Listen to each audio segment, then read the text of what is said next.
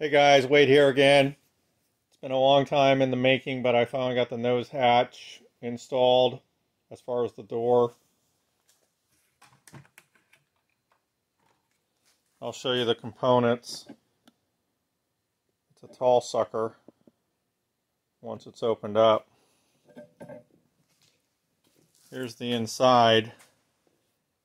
You can see I've pretty much got everything installed. There will be a pitot tube that goes in there and then down in here there's an integrated backup battery system. So I got the toolbox in here. Most of the electrical components that are going to be on this side are in here except for the cabling.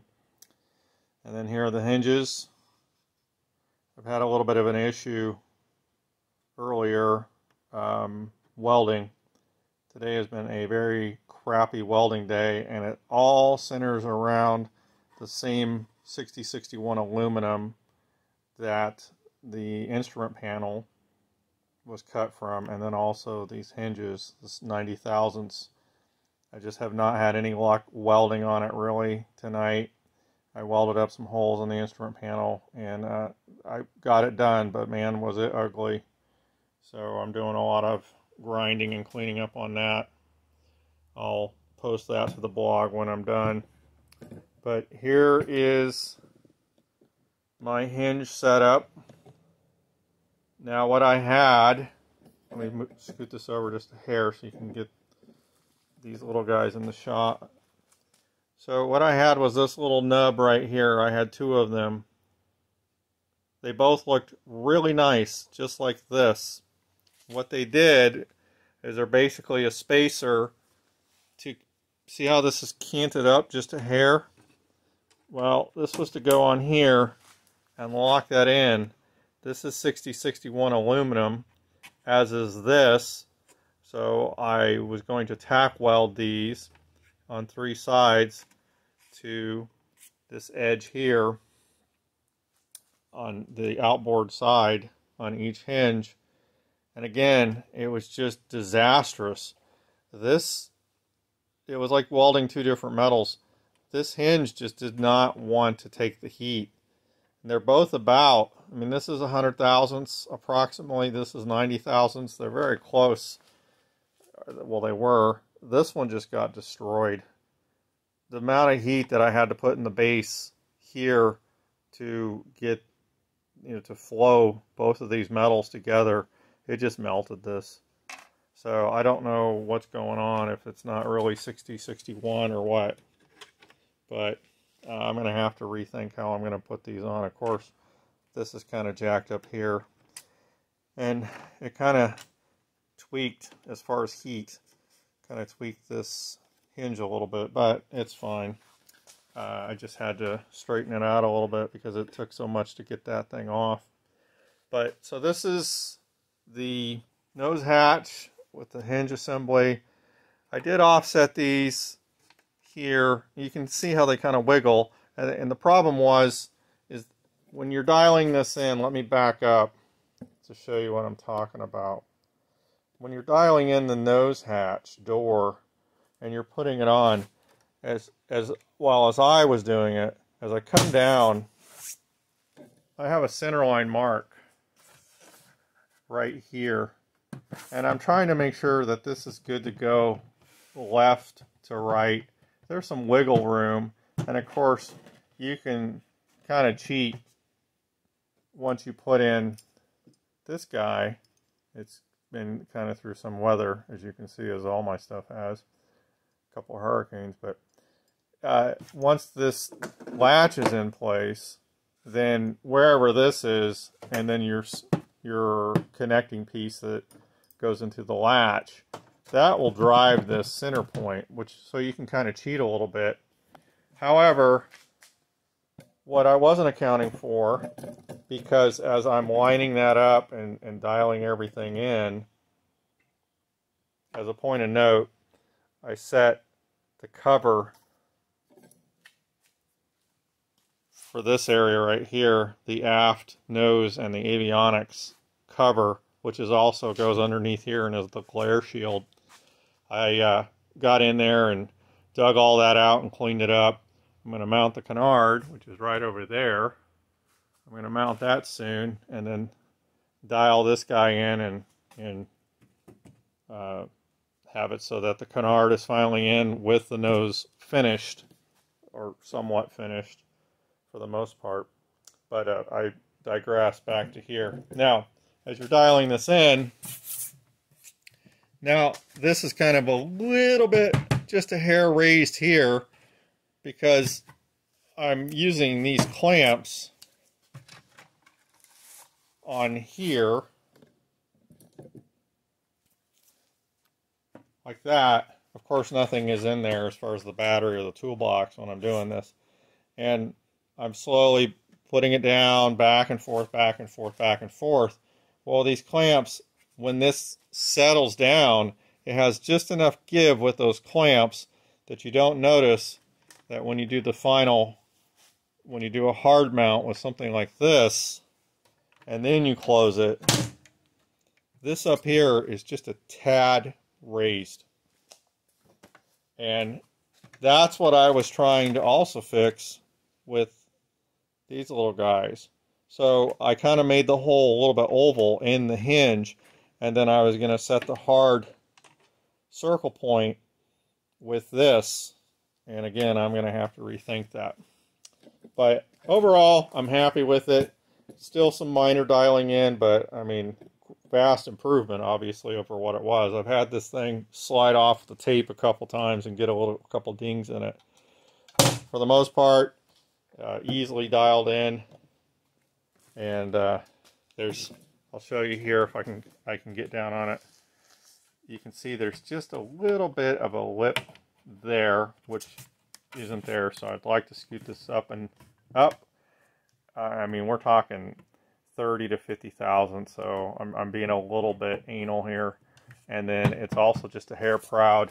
And then this gap is because that gap down there. Now this was perfect before the great welding debacle that just happened within the last half hour, 45 minutes. So I've got one more thing to show you on this and it's in response to some advice that that Marco gave me. We were working on his plane, uh, his flying airplane JT in his hangar one day and he showed me that when the aircraft is in the grazing position and you'd like to get down here and look up and see something in there or you're just trying to work, it really is a lot easier if you can remove this nose cover or this nose hatch door. And his, he didn't build the aircraft, Terry Lamp did, but his, it has four like Dzus fasteners that hold this on. So I definitely wanted a hinge door just to get in there and have quick access to do whatever I needed to do. But I also wanted to make it removable. So I kind of came up with this scheme. And so I'll show you how it works right now. Again, I offset these. When I tested them out, they were kind of getting in the way. So I offset them about 200 thousandths, one up uh, higher than the other just so that I can get a little bit more clearance. I don't know if I needed to do that, but the holes are drilled now. So these come out. Again, these are a little bit tighter than they were before. I think, you know, I'm just, things are settling in and all that. And so I pull those, and then this is a clip. there's a bar, if you can see that bar right there. And so I can just take this and just pull that off. Now you have total access to get in there and do whatever you need to do. And with that, put this down here. This still has plenty, just enough clearance. I shouldn't say plenty, but just enough clearance. It just barely kisses the front latch of the nose uh, toolbox. So then when I want to put this thing back on, here I only show it to you without, uh, maybe like this, here we go. So this is basically a hook, a clip I'm going to trim these as far as round these. I'll give them a nice radius. So everything is pretty much done on these except for, for just the radius on there. But I wanted to get this video done tonight. So let me see if I can do this and have you see what I'm doing.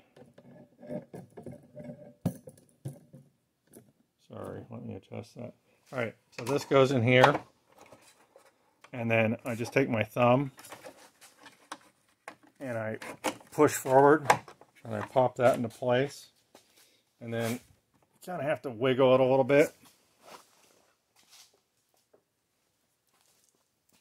And then these guys right here.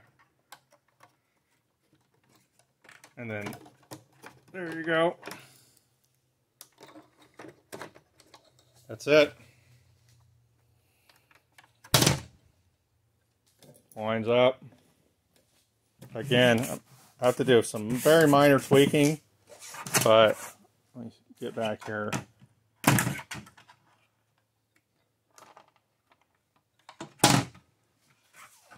Again, it lines up pretty well with the, the center line mark.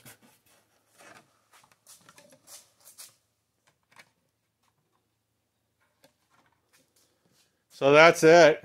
The next thing I'm going to do on this is, again, take this latch right here. I'll put this mounted up underneath here. And then I've got an indentation right here already, already waiting for a little hook to mate up to this latch. And this will have a cable that goes up. And on this is this right here is for my uh, fuel vapor sniffer that I'm going to use at least starting out just to make sure that I don't have any fuel vapors in the aircraft when I start test flying it. I'll probably swap it out later on for something else. That's just an aside. But that little hole right there is the cable mount for the pole that will go over here and then pull this latch and this, once this is pulled, the nice thing about that type of latch, it's an Eberhard, it, it actually pops this up a little bit like that so that you can grab a hold of it and open it up. So even without these things being in there like, uh, you know, really tight, that they're still, even though that's quote unquote loosey goosey, yeah, it's working fine. Again, just some minor tweaks.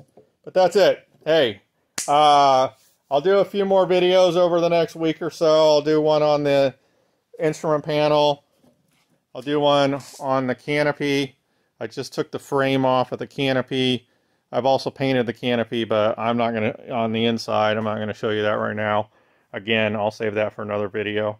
I'll probably combine it, maybe, with the video that shows the canard installed and then this cover.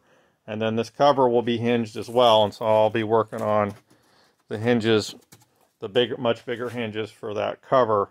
And so it'll be like an MG hood that pops open. But again, separate video. I was almost remiss in not giving a huge shout out to Mike Toomey. I had a chat with him uh, probably about a week ago, and he really helped me out. It, it seems kind of simple now, but I was having a huge issue, almost rethinking this whole hinge setup. These are kind of hard to dial in if you're not used to or accustomed to these types of hinges. And the trick is, as he told me, the pivot point right here, and this is just one of probably a dozen 3D printed and plasma cut hinges that I tried out, different configurations, different angles on this arm, different ways. Uh, and uh, none of them seem to be working. But the trick is you got to drive the pivot point as far forward and as far up as you possibly can. And that did the trick. And what it does is it keeps this edge right here from banging into the top of the nose. And that's the problem I was having. Every configuration I had, when I raised it up, it seemed like it was going to work fine. But when I raised it up, this front lip right here would smack the nose. So that's, uh, I mean, that was a game changer right there. Hey, thanks, Mike, for your words of wisdom. Again, you always seem to uh, have a, a, a lot of good tricks up your sleeve. I also want to point out this right here, although you can't really see it, the sides that these pivot points are attached to, this whole assembly right here was welded uh, 1 8 inch 6061 aluminum and it, it just welded beautifully. I mean, it was so nice. I used my uh, PrimeWeld TIG 225 and it's got AC and I, I, you know, I was just it was so fun to weld that thing up. Now that was a second try because I I actually tried to weld smaller walls the first time around and I didn't have quite the luck. Uh, and uh, you know I haven't been welding for a while. I haven't AC TIG welded in probably seven eight years, so uh, you know kind of rusty on that. But this thing welded up beautifully, and so I don't know what it is with this uh, 6061 90 thousandths that came from the same stock as the instrument panel, but causing issues, uh, at least for as I was having tonight. But that's it. And uh, Uh, I will say adieu. Thanks for watching. Cheers.